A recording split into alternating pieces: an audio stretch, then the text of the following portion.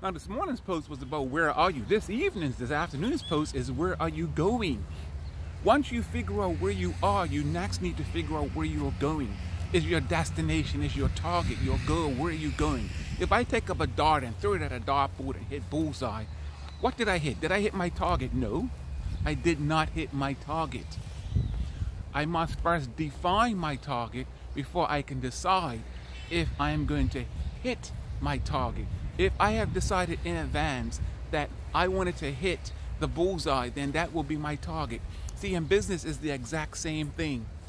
You have to first decide what your target is. My name is Terence Douglas with Douglas Business Coaching, and I help businesses get rid of overwhelm and increase revenue. So what I want you to decide right now is what is your target? Where do you want to go? So you settled down in these and you looked at what you made last year or you looked at the last 12 months and said, well, you know, I've made this much and this is where I want to go now. This is my target for the future.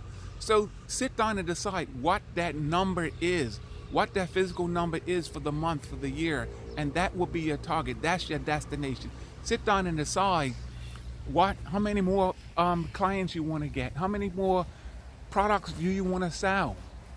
Look at that. Look at your employees. Look at your sales staff if you have salespeople and decide how much do you want them to reach in in their targeted sales goals. Encourage them to increase.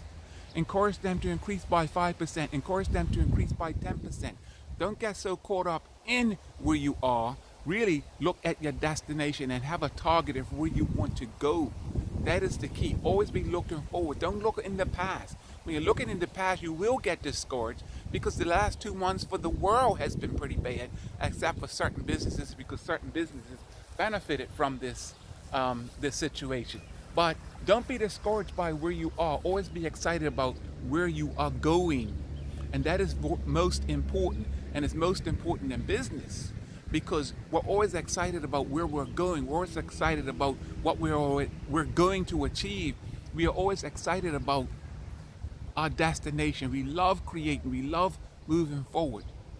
I want to encourage you to keep looking forward and move forward. Look at those numbers, look at that destination, and see if you can try to concentrate and hit those number targets, revenue targets, um, amount of products you sell targets, client targets. Always be looking towards the future and what you can achieve and not looking in the past of how you failed and, or how things have been so bad in the last two months. My name is Terence Douglas Douglas Business Coaching. Again, I want to encourage you to go down bottom and like and comment if any of these posts has been helping you, any of these posts has been encouraging you, or even challenging you, yes, challenging you to be a better business person, a better business. Why not share the post, share it with a friend, share it with a colleague, and maybe it can help them as well. Let's go on and have a great 2020. My name is Terence Douglas with terencedouglas.com. Thank you for watching. Thank you for listening.